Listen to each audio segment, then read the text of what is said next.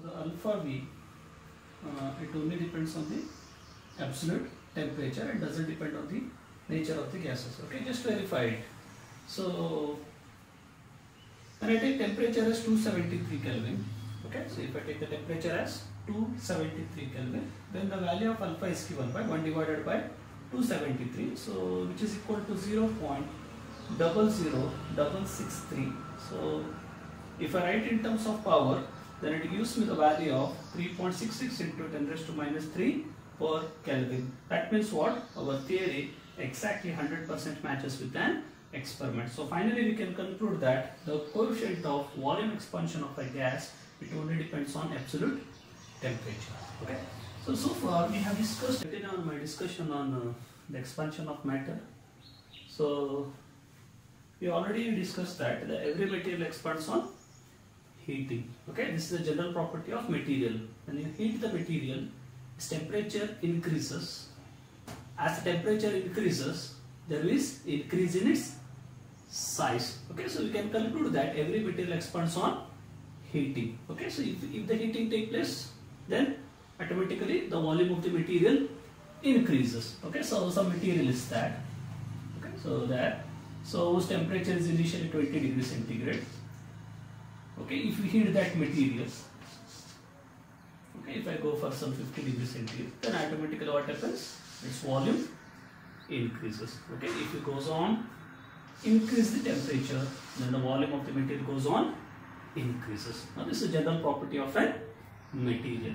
Okay, but one special case is there. If you consider an example of water, then the behavior of water is uh, somewhat different here. If you take water, okay, so I'm at uh, 30 degrees centigrade. If you decrease the temperature, if you remove the heat from the water, if you decrease the temperature, then automatically what happens? The volume of the water decreases. Okay, if it goes on decreases its temperature, so its volume also goes on decreases. Okay, but at particular temperature, that is at 4 degrees centigrade. Okay, so if you at 4 degrees centigrade, now this is its volume goes on decreases at 4 degree centigrade. If again decreases beyond 4 degree centigrade, like if you go for 3 degree centigrade, 2 degree centigrade, 1 degree centigrade, then a special case take place. Now here, as the temperature decreases, its volume should decreases. Now that, that is a general property of material. But water in between 4 degree centigrade to 0 degree centigrade, instead of contraction, expansion take place. Okay, so when I go for 4 to 3 degree centigrade, volume is not decreasing now, but volume is increasing here. At 2 degree centigrade, again it increases. At 1 degree centigrade, again it is start increasing.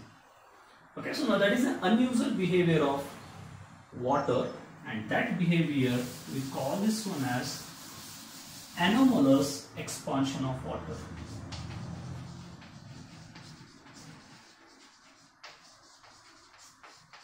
Okay, so we call this behavior as, now this is an unusual behavior, now that behavior we call it as anomalous expansion of water. Okay, only water has this property. Okay, anomalous expansion of water. Okay, so first let us study the reason for it. Okay, why this anomalous expansion of water take place. Okay, so you know that the water means it is the chemical formula is H2O. It contains two hydrogen and one oxygen atom, and the arrangement is somewhat like this. Okay, so this is hydrogen molecules. Okay, now this is an oxygen molecule and the arrangement is somewhat like this. Okay, somewhat I can say that it looks like an uh, uh, Mickey Mouse uh, shape, uh, Mickey Mouse head structure. Okay, where this oxygen molecule looks like the head and uh, the hydrogen molecules like the ears. Okay, so as you know that uh, it is a, a neutral molecule. So this hydrogen atom has more electropositive compared to oxygen oxygen is negative compared to hydrogen atoms. So a bond is created. Okay, so the bond is created with, between them, between the hydrogen atom and oxygen atom, and this bond is nothing but a covalent bond. Okay, so we have a covalent bond between the hydrogen and oxygen atoms. Okay, if you take a water substance, then this water substance contains large number of water molecules. Okay, so uh, molecule means what? There is a fine bond between the substance, there is a fine bond between the molecules. So this oxygen, okay, so let me consider this one more uh, water molecule is there. So this is the one more water molecule. So this is oxygen. Okay, now this is an hydrogen. Hydrogen atoms. And you know that the hydrogen atoms are positive and oxygen is a negative. Therefore, this positive and negative some bond is created here. Okay, so if I take one more here, it is this, this is an oxygen. So somewhere here it is an hydrogen. Okay, so this oxygen is negative, hydrogen is positive. So between the hydrogen and oxygen, some bond is created, and you know that now that bond is called as hydrogen bond.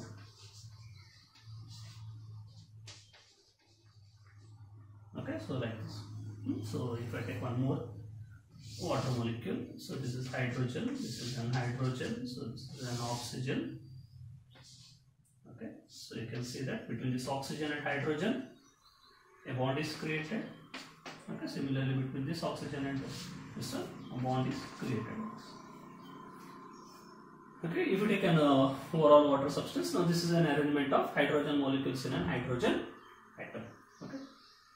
so, in the first lecture only, I have, mm, I will discuss that uh, this uh, why this expansion take place when you heat the material. Okay, when you when you heat the material, they start oscillating. Okay, the bond between them they start oscillating. If the temperature increases, the oscillation also increases. As the oscillation increases, they require more space. Therefore, the volume also increases. Okay.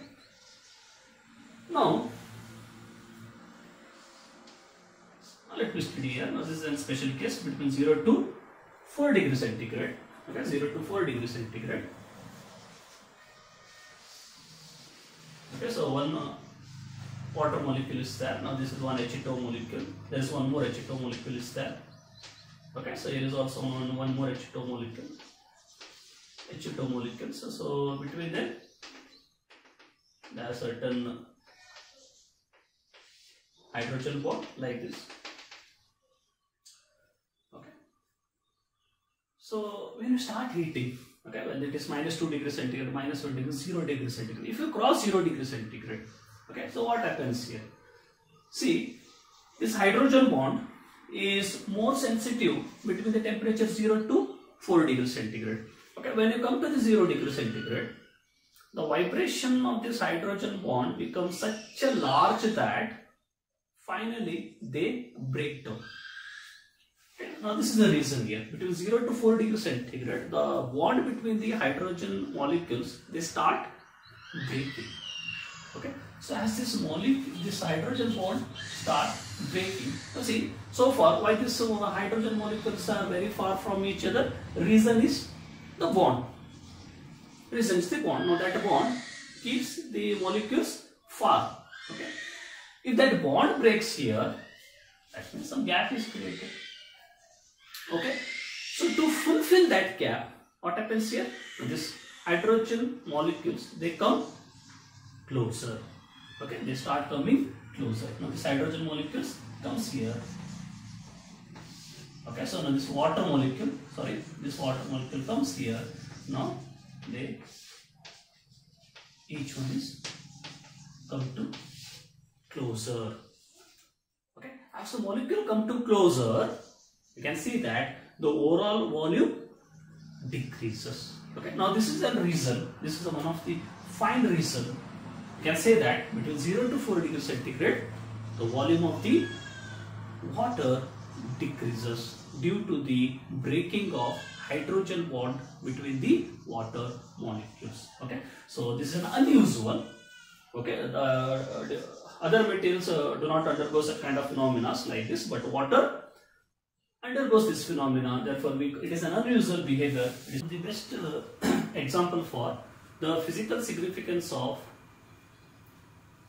uh, anomalous expansion of water is the presence of life in cold countries okay during the winter season the aquatic especially the aquatic animals present in the cold countries. They survive the reason is the anomalous expansion of water. Okay?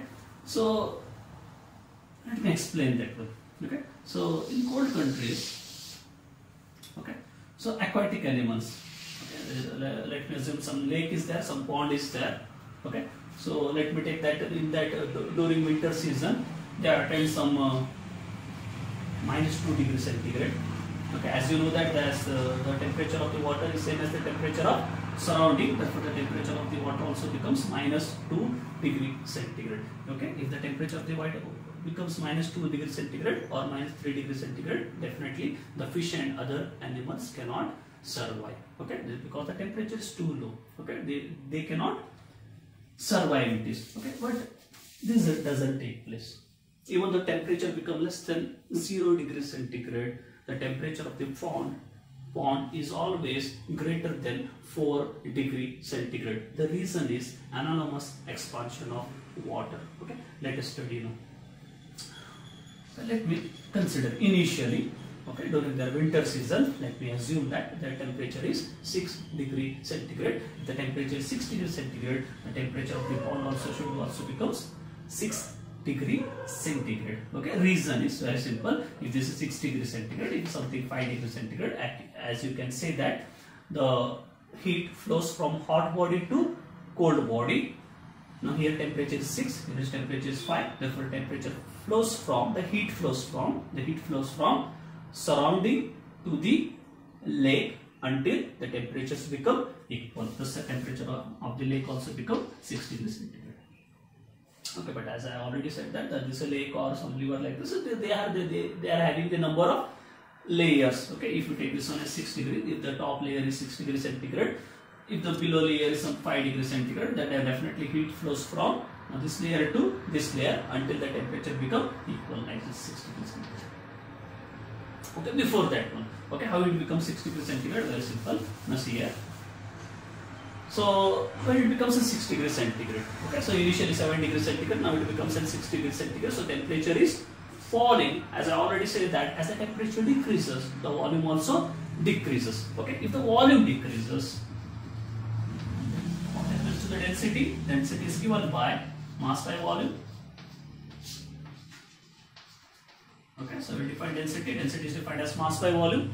Okay mass of this particular layer remains constant doesn't, doesn't depend on the temperature like that okay? So this term is constant but as the temperature decreases okay from 7 degrees centigrade to 6 6 degrees centigrade okay? What about volume? Volume also decreases. As you know from the relation as the volume decreases atomic density increases okay? So this is density of the top layer it increases. Okay below below below uh, it has some uh, okay so some higher temperature region some 7 degree centigrade is there okay if it is 7 degree centigrade that means it has uh, more temperature more is the volume therefore lesser is the okay lesser is the density but the 6 degree centigrade has a large density okay so compared to the lower layers of the lake so what happens here? So as we already studied that uh, the material which has higher density it sinks. Okay, if I keep this duster on the water, then this duster sinks in the water. Reason is very simple because it's a density of this. Uh, okay, so duster is greater than density of water. Therefore, it sinks. Now this is the general property of float and sink. Therefore, if uh, this uh, layer goes to the bottom, okay, and this layer, okay, so the lower layers they come they come to the upward. So this is 7 degrees centigrade it comes to the upward and 6 degrees centigrade it goes to the lower. Again it is 7 degrees centigrade this is 6 degrees centigrade. This time the temperature of the lake is greater than temperature of surrounding therefore heat flows from lake to the surrounding therefore as it loses the heat its temperature decreases and finally when this temperature becomes 6 degrees centigrade it stops. Okay when again 6 degrees centigrade it has more density therefore it comes to the lower layer. So next the lower layer it goes to the upper direction until until the temperature of the each layer in the lake become same. Okay? Again the season changes. Now the this surrounding becomes 5 degrees centigrade same here the heat flows from lake to the atmosphere. So it also becomes 5 degrees centigrade. As it becomes a 5 degrees centigrade, its temperature has been decreased. As the temperature decreases, volume has been decreased. As the volume decreases, its density increases. It goes to the lower part. Okay, so in the lower part, it comes to the upper part until all the temperatures become 5 degrees centigrade. Okay, the temperature of each layer become 5 degrees centigrade up to which this process continues. Next, 4 degrees centigrade. Now the surrounding again in the uh, temperature is falling in this season. Now temperature becomes 4 degrees centigrade. As the temperature becomes 4 degrees centigrade, the same phenomena heat flows from lake to okay surrounding until the temperatures become equal. They become 4 degree centigrade. This become 4 degree centigrade. Now this is very interesting. Once it become a 4 degree centigrade, okay. So we already studied the anomalous expansion of water. When the water goes from 4 degree centigrade to 0 degree centigrade, now this time volume doesn't decreases instead of volume, what? Volume increases. Okay, once it crosses the 4 degree centigrade, it becomes a 3 degree centigrade, something like this. Okay, now the volume has been increased this time. This is not decreased, this time it is increased. The volume has been increased, whatever density, the density has been decreased. Okay, now I can say that the layer, the layer which is present on the top of the lake has less density compared to lower layers. Okay, as the density is less compared to lower layers, okay therefore this time it doesn't flow it, it, it doesn't sink. This time it is float. It remains on the surface only. Because its density is less. Okay sorry getting me? So its density is less therefore it remains on upper side only. Okay so next the temperature become 2 degrees centigrade. Again it uh, okay so this 3 this one is 2 therefore it flows from lake to the surrounding okay until uh, the temperatures become same so this time temperature become 2 degrees centigrade again its density is again decreased again it, it, remains on the top only. Okay this process continues until the temperature become 0 degree centigrade. Okay as you know that when temperature becomes 0 degrees centigrade water becomes an ice. Okay your water becomes an ice and you know that ice is a bad conductor of heat. Okay it doesn't allow okay ice is a bad conductor of heat. Next if the surrounding temperature becomes minus 1 degree centigrade minus 2 degree centigrade next this heat doesn't move from lake to the surrounding or surrounding to the lake because in between lake and surrounding ice is created which is a bad conductor of heat. Therefore the ice remains in the top layer and in the lower levels you have temperature of 4 degree centigrade. Even though whatever may be the surrounding temperature, minus 20, okay, so minus 10, minus 20, but the temperature of the lake is something around 4 degree centigrade. Therefore, the aquatic animals can easily survive in the water even though it's a winter season in the cold countries.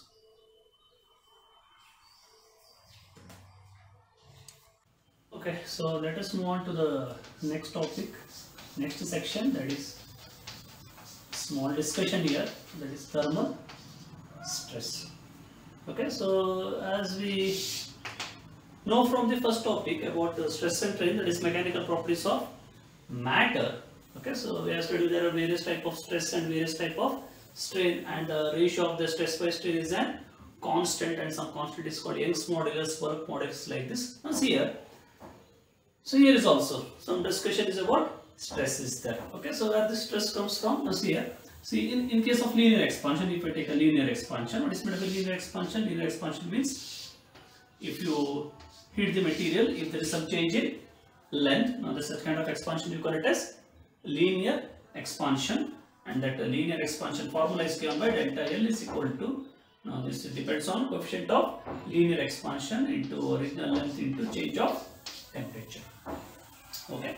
So that means what if you increase the temperature, if you change if you increase the temperature and definitely there is increase in length. Okay. So if the L is an original length, this length becomes an delta L. Okay. As this length increases, definitely it produces an some stress there. Okay. So how you can experience the stress? Very simple. If you keep your hands on both of these ends, okay, of the rod, if we hit this one, definitely as I, as I studied that as the length increases, uh, as the temperature increases, the length increases, it requires more space. Definitely this rod pushes our hand in the outer direction. So they make certain stress on our hand. Okay. Now that stress is not a mechanical stress here. Now this time this stress is due to the heating. Therefore such kind of stress is called thermal stress. Okay. So we can we can easily measure it. Okay. So what's the value of thermal stress in this case? We can easily measure it. Okay. If if we combine both the topics, if I take the Young's modulus concept as well as the concept of linear expansion, definitely I can get a formula for thermal stress. Okay.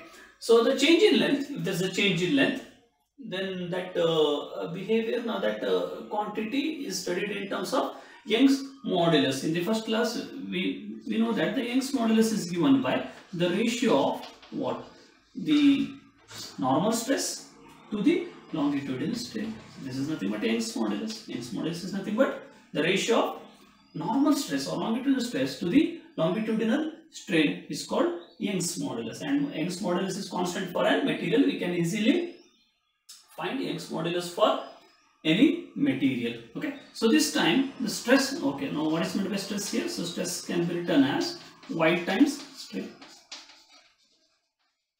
Okay, so this time the stress is due to, not by due to the mechanical force, due to the change of temperature due to the presence of heat. Therefore, we call this stress as thermal stress. Okay, I can write like this. So, so this is thermal stress that is equal to Y times the strain. What is strain? What is strain? In the first class, so in the first topic, we know that if it is L is an original length, okay, if you apply certain amount of force, the length is increases to delta L, then the ratio of change in length to the original length is called strain. Okay, so in this case, what is strain here? So I can write the strain here. What is delta L by L? Original length to the, okay, change in length to the original length, that is nothing but strain. So that can be written as here in this topic, it can be written as alpha into delta T. Okay, so right here. So this is Y times, so this time our thermal stress becomes Y times, the strain is alpha into alpha into alpha into delta T. Okay, so this is the formula for thermal stress. Okay, so you can find the thermal stress acting on the rod due to the change of temperature by using this and it's very simple to measure. Y is an Young's modulus of a material. Okay, for each material the Young's modulus is constant, alpha is coefficient of linear expansion, again it's constant for a material. By measuring the change of temperature, you can measure the thermal stress it is.